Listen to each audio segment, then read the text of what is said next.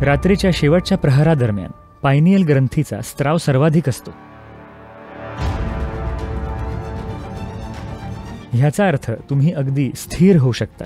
याबद्दल पुष्कळ संशोधन झालंय आजकाल. म्हणून ह्याला नाव मिळालंय ब्रह्ममुहूर्त. किंवा ही सृष्टीकर्त्याची वेळ आहे. तुम्ही स्वतःला तुम्हाला हवं तसं घडवू शकता.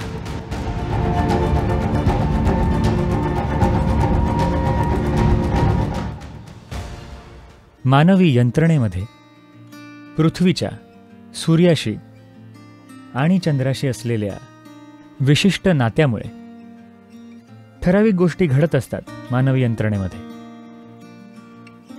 ज्याला रात्रीचा शेवटचा प्रहर मानलं जातं. आपण रात्र म्हणजे सूर्यास्तापासून ते सूर्योदयापर्यंत मानतो. रात्रीचा शेवटचा प्रहर त्यावेळी शारीरिक बदल घडत असतात यंत्रणेमध्ये.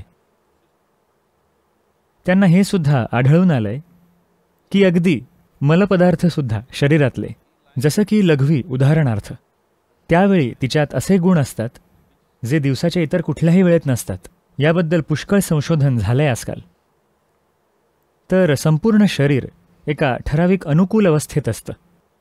त्यावेळी मेलाटोनिन नावाच्या रसायनाचं नैसर्गिक उत्पादन होत असतं. जो पायनियल ग्रंथीचा स्त्राव आहे. तर पायनियल ग्रंथीचा स्त्राव सर्वाधिक असतो रात्रीच्या शेवटच्या प्रहारात. म्हणून आपल्याला त्याचा उपयोग करून घ्यायचा आहे तर ह्या काळाला साडेतीन ते सहा किंवा साडेपाच किंवा ज्या कुठल्या वेळी सूर्योदय होत असेल ह्याला ब्रह्ममुहूर्त म्हणतात. कारण तुमच्या पायनियल ग्रंथीचा स्त्राव त्याच्या सर्वाधिक पातळीला असतो. ह्याचा अर्थ तुम्ही अगदी स्थिर होऊ शकता. आधुनिक वैद्यकीय शास्त्रात ह्याला मूड स्टॅबिलायझर म्हणून पाहिलं जातं. मी आधीपासून तुम्हाला स्वतःला सहज अवस्थेत आणण्याबद्दल बोलत आलेलो आहे स्वतःला सहज अवस्थेत आणणं म्हणजे तुम्ही खालीवर होत नाही आहात. तुम्ही सहज अवस्थेत आहात. हे नैसर्गिकपणे एका ठराविक वेळेला घडत असतं आणि त्यावेळी लोकांना उठून त्यांच्या आध्यात्मिक प्रक्रिया करायच्या असतात जेणेकरून त्यांना सर्वाधिक लाभ मिळेल. म्हणून ह्याला नाव मिळालंय ब्रह्ममुहूर्त. किंवा ही सृष्टीकर्त्याची वेळ आहे. किंवा तुम्ही त्याकडे असं पाहू शकता की ही अशी वेळ आहे जेव्हा तुम्ही स्वतःला निर्माण करू शकता. तुम्ही स्वतःला तुम्हाला हवं तसं घडवू शकता. तर तुम्ही ब्रह्मण होता.